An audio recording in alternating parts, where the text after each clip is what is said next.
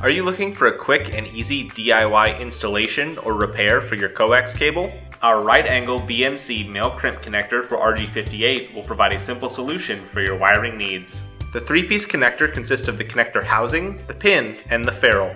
For this installation you will need a coax stripper, coax cable, a soldering iron, a crimp tool, and the BNC connector. Keep in mind that you will want to make sure that your coax stripper, crimp tool, and connector match the cable that you are installing. Start by inserting the ferrule over the outer jacket of the cable. Then, using your cable stripper, strip back the outer jacket and dielectric. The advantage of using a cable stripper is that it will strip back the jacket and dielectric at the same time.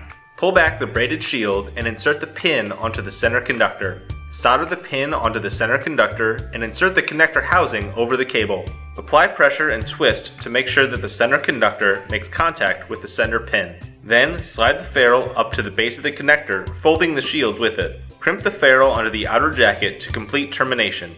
Congratulations, you have successfully installed the right angle connector. For all of your cable and connector needs, choose Show Me Cables.